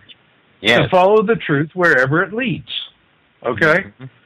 That makes him, to me, as a Jew, that made Bob an incredibly unique Christian. Yes. All right. All right. I and, uh, with his study of the Talmud for for years, yeah, he showed yeah, me he an did all 18, that, but 18 that's volume right. book set on his shelf back there. I'm I'm amazed that someone would take that effort, as you mentioned. Well, he did, and he, you know, and he wasn't having to elbow his way to a funding trough to do it, and I think that's a real important point. I think another real important point your listeners need to keep in mind is this is a man that spent decades working in top secret projects, which means he knows how secrets are kept, how they are hidden, and how they can be revealed. Yes. Now that what Bob did, all right, what he brought to this was his love and his passion, and he was in terms of following it, he just followed it where the information led him. But mm-hmm. he uncovered a whole lot of things along the way you're not going to find in any other book written for Christians or for Jews, for that matter. All right. Okay? Yeah, Stories have never been told before. This is an expose. You're going to get secrets that have been withheld by both Christian and Jewish theologians and academics. Okay? Oh yes. Yes. Give you, you were talking earlier about DNA and they could do something. Well, a few Mhm. years ago, there was a guy by the name of uh, Jacobitz in Israel who found uh, he found he felt that he might have found the uh, burial site of the family that Yeshua came from, and uh, hmm he wanted to do DNA testing and everything. I will tell you, that man was he was crucified from both the Jewish side and the Christian side. It was something nobody wanted anybody to talk about. They didn't want. No, you ain't going to do that. We're not going to talk about that. Uh-huh. From Why the, do you, know, and so you know, well, hey, thumbs in rice bowls, okay? Yeah. Well, they have a thing called about. the Dark Ages, right? Where they kept people so in You the know? dark we wasn't even allowed to read the Word of God. You know? You know, Uh, I mean, Bob is such an original thinker. I think a lot of churches would have a greet him with a shotgun at the front door. Okay? Ah. because they're I so bet- stuck I in their there. own dogma. Yeah, I mean, he gets beat on. I wanted to publish this book because here's a man who came from the heart with love. He's not trying to manipulate anybody. He's not trying to. He's telling a story. It is a story that spans thousands of years. A story that began in the deserts of Sinai, and today is going to define life in this century. Okay, it is all a culmination, and you know the thing here is for Christians and Jews. You know, it's like what did we say during the uh, American Revolution? Yeah, we hang together or we hang separately. mhm. And I uh, I find it you know really sad that I see uh, a lot of folks that are in the hate Israel first crowd because it's all back to the 1930s again. The whole surge of anti-Semitism that's spawning up yes. again. Been seeing All that. of this goes back, and it's like, what the hell did everybody learn from World War II? Is anyone that's going out and saying the world's going to be right as rain and everything's going to be beautiful again once we kill the goddamn Jews? Oh, they're going to kill good. you. Yes. Okay? They're going to kill you. How many Christians died in World War II? Quite a lot few. more than Jews. A lot more than Jews Yeah. a lot more than hmm. Jews. Okay, and so, but you know, during World War II, they knew about the Holocaust all the way from the get-go. It was even published in the New York Times back in, in the middle of the magazine. I mean, they buried it. They knew, and they kept it secret because the country, Roosevelt felt that if he had said this is what's happening, people would have said no, we're not going to fight and die to save Jews, and it would have been the end of the war effort. And so a lid was put on it. Now, this time around, it's going to be a different situation because what you have with Israel now, and and Christians and non-Jews, I don't care what you call yourself, everyone talks about Jews, but they don't actually understand them. If you talk Well, to Israel, you Help talk us to to Jews, understand them. Yes. then I'm going to tell you how to understand them. All Well. World War II taught the Jewish people is with a nation, you die one at a time. Without a nation, you die a million at a time. Uh huh. Everyone can have their political and theological debates and Allah Akbar bullshit. They can do that all they want. Those people are going to hold on to their lives. They're going to hold on to their land. They're going to fight like hell. And what you got out there is a little tiny scorpion in the middle of the east with an eight million pound pound stinger. and when that thing flies, it's going to shock the world because 1973 taught the Jews some real simple, basic things. One, they came within their skin's teeth of ceasing to exist as a nation.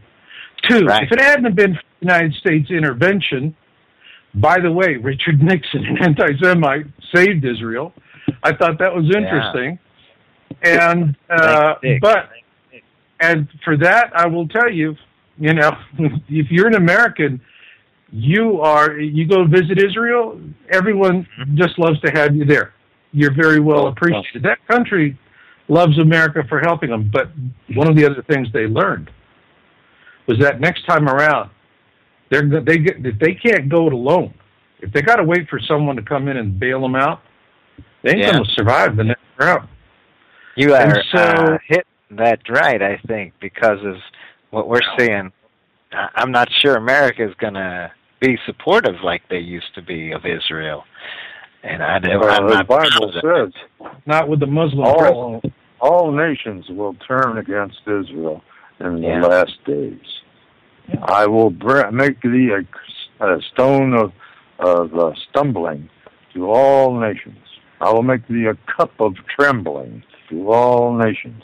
If that ain't plain enough, and when the Lord says all, that's A L double L. You know, I mean, Yeah. it's really all. what saddens me though is that we have like seven or eight million Jews that live in America, right? Um, Mhm. Yeah. But And, and a lot of them are not really interested at all. No, they're they're out to lunch. It's, it's sad. It's very sad. And I know But there are a lot of Christians that still love Israel. My wife was just in here holding up her Israel hat. I don't know if you guys uh, got me on camera, but she had her hat in front of the camera there. She holds it up, and she does that on a fairly regular basis. And we we did. Are you one of those? Are you guys one of those quote unquote despicable Christian Zionists? Um, I am. I, I don't know. I'm not that difficult as anything uh, yet, but um, I I love people, and I love the people Yeah. of God. I love the Old Testament and the New Testament alike. Uh, I don't I don't I don't uh, I don't think you can separate the Jewish people from the Word of God. Okay. And especially with the coming prophecies, as you have just uh, kind of struck a match on, Wow, I'm concerned as an American citizen for my own welfare sitting here if we turn against Israel. I'm I'm concerned that the wrath of God is going to be incomprehensible against our nation. It is going to happen. It's a it's a it's a bet.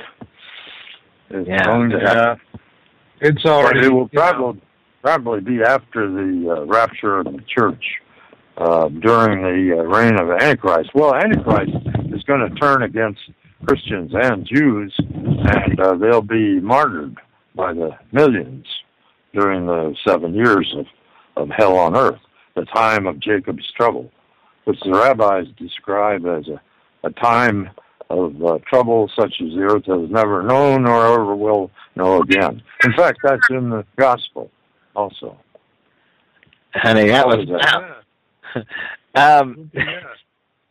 Now the reason I I also uh yeah I'm sorry um the reason I I wanted to ask Marshall about the uh the temple was because I I I know that the the Bible seems to say there's going to be a third temple erected but that dome thing is sitting on the temple site and maybe Bob you're maybe No, it isn't. qualified or it's very not.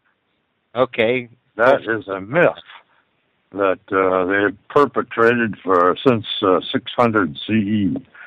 Um, but um, they don't. Uh, we know that the uh, Jewish people are going to resume the sacrifices from Daniel's prophecy because it says in the middle of the week, uh, 666 will cause the oblations and the sacrifices to cease.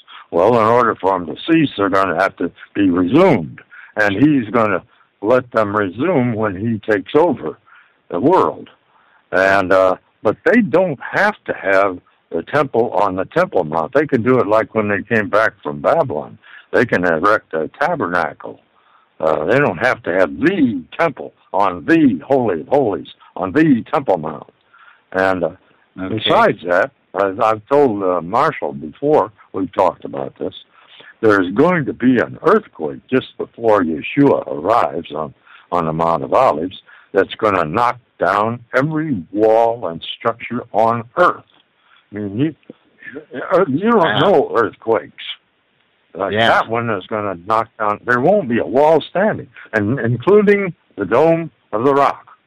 And therefore, if they did build a temple, that won't be there either. Now, I cannot. Now, Asher Kaufman and I, we uh, disagree on this. Well, that he thinks that they could build the temple right where he says it belongs if they just got together and uh, worked it out. You know, and I don't think that the rabbis would ever uh, permit building a temple next to a uh, heathen mosque. Nor Mhm. it would start World War Three if we built uh, the temple next to uh, a Muslim mosque, or two of them in this in this case on the Temple Mount. I just don't think that it's in the cards, but I could be wrong. But that they don't have to put it there in order to resume the sacrifice. They can do that anywhere in Israel.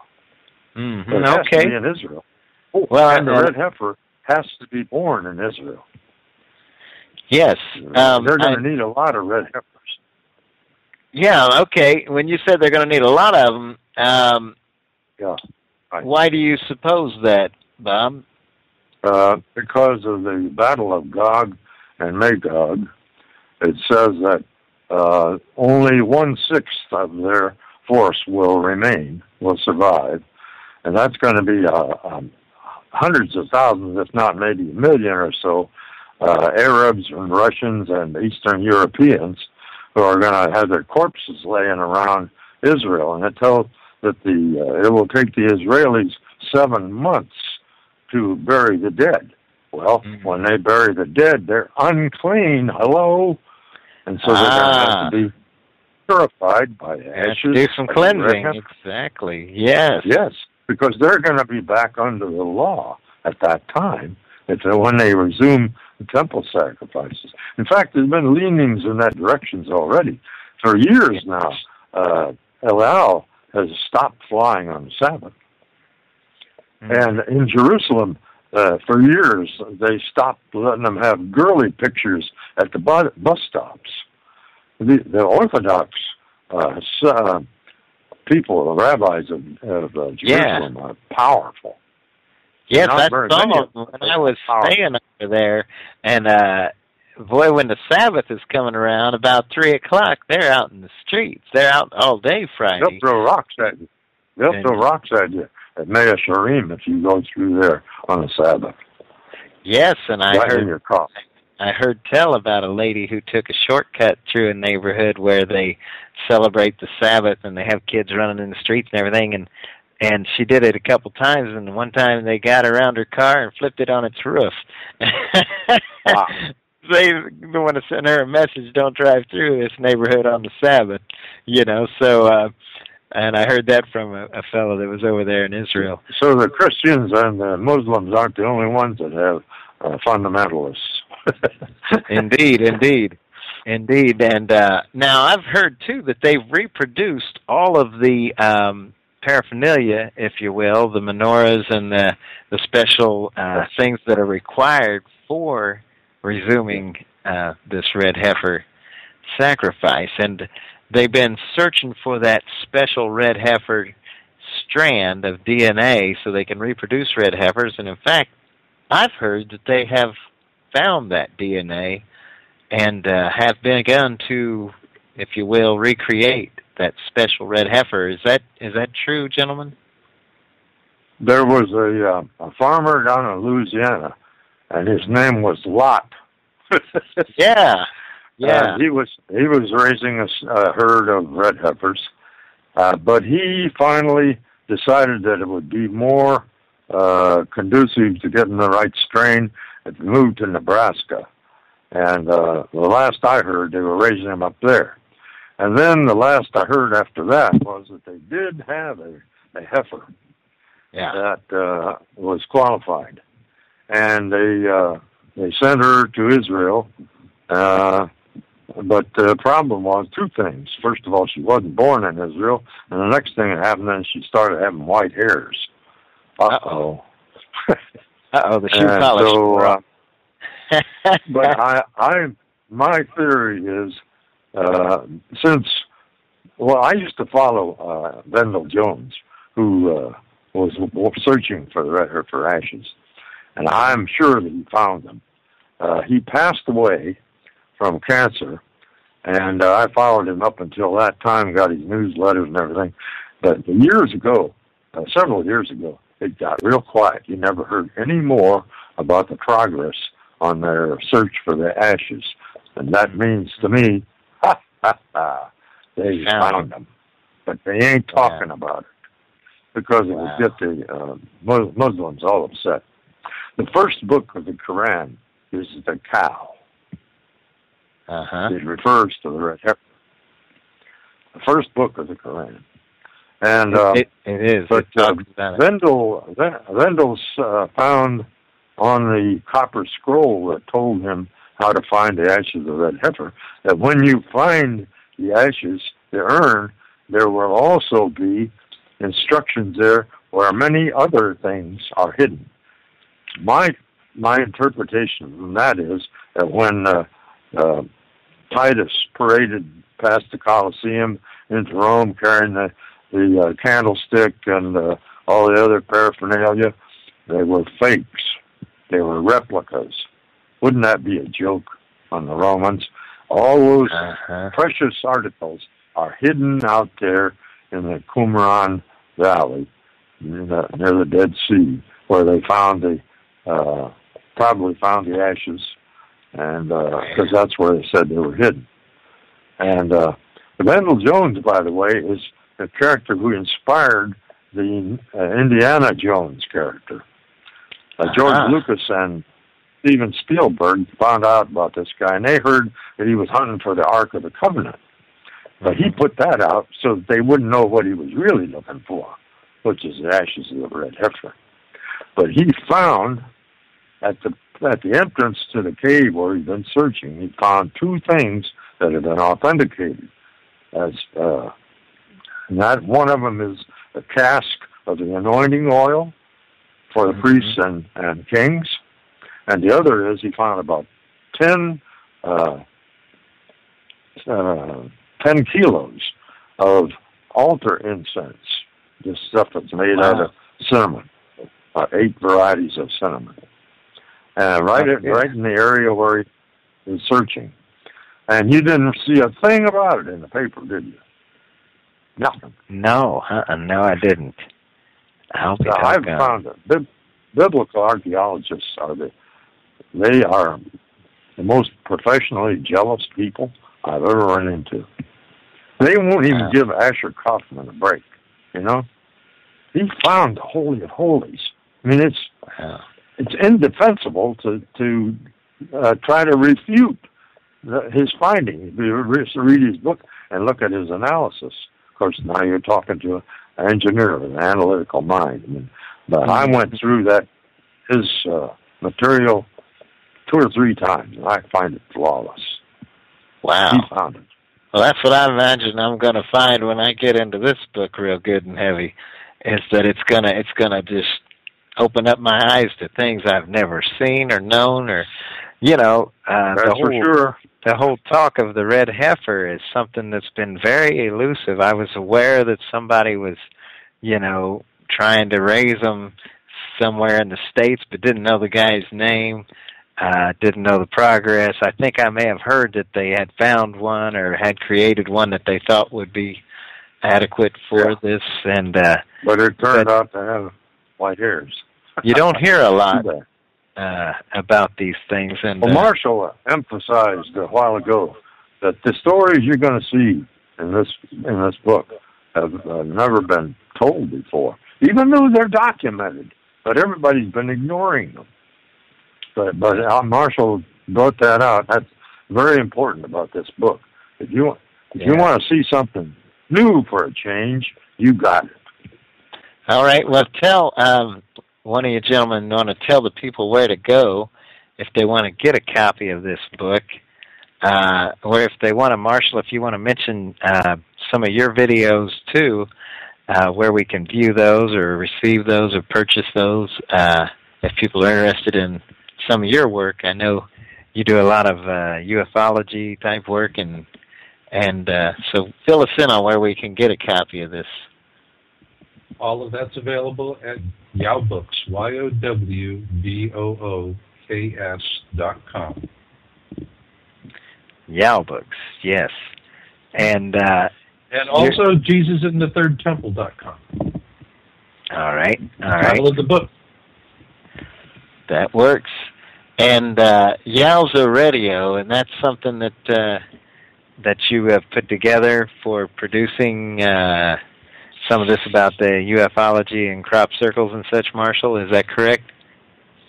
Well, Or- I'm really more, you know, into research on Planet X, Nibiru, or what's called the Destroyer in the Bible. So Mhm. That's really the emphasis. So the crop circle you were mentioning is the one that is showing the orbit of Nibiru, and I call it the star map of doom. Interestingly enough, there's a group called Skyview. I think they're out of Spain. They've been tracking the object, and they finally put together a plot on the orbit, and it's exactly the orbit that was described in the crop circle. Interestingly enough. And uh, you can find that at yowusa.com. Okay. Well, thank you. That's uh, what we wanted to put out there, yowusa.com, because a lot of my Mhm. people, we have a lot of people on with uh, with that uh, that type of uh, interest, you know. And uh, well, my wife just hollered real quick. We're almost out of time, gentlemen. I heard wife her. just hollered from the back uh, of the house, and she said, "Ask him if it's coming." Marshall, do you feel like that uh, we're we're on a crash course with Nibiru? Well, it's not going to hit us directly, but it's going to cause a lot of grief. Okay, and During that'll the be tribulation. This year. It'll Those be kind of events. Those kind of events are prophesied during the uh, tribulation. Huge earthquakes and tsunamis, and we have we don't know earthquakes, and Mm-hmm. we don't know of global warming. Just wait. No. And it's all the, you know. Now we have seven point this, seven point that. Seven point is the new normal. Yeah, You know, it wasn't that way. Extreme is the new normal. So, you know, Wow. folks are saying, "Gee, I don't see it," and I go, "Yeah, it's hard to see it when you're in bed and you got the covers pulled over your head." but, uh, yeah. So, I mean, it's like. That's the way it is too. That's, That's what the way do. it They is. Pull the covers That's- over their heads. that's the way it is. It's all part and parcel of everything. So. yeah. I think Yeshua. I think Yeshua. I'm not a Christian, but I think Yeshua came to plant a seed of consciousness, which would come to fruition in these times. yeah. But you know, it's like popcorn. Some popcorn just lays on the bottom of the pot, and you can shake it all at once, and nuke it into a coal. It ain't going to pop. Right. Wow. So if you just go with big fluffy ones like Bob, Good, good analogy. yes. really good indeed. analogy. Yes. Okay, folks, so this is the book, Jesus and the Third Temple, the complete guide to the ancient history and secret rituals of the red heifer ceremony. And we, we really 90 uh, seconds. we're gonna get together again I think on the seventeenth and we can discuss this more in depth and I'll I'll I'll look forward to that. We're in our last ninety seconds here uh, for the broadcast, but I want to thank both of you gentlemen for coming on. This has been a great pleasure Thank you. and we have only scratched the surface of this uh, book. That Bob, how many years have you worked, real quick, on on these books? Oh, about 60 seconds. How maybe many? more?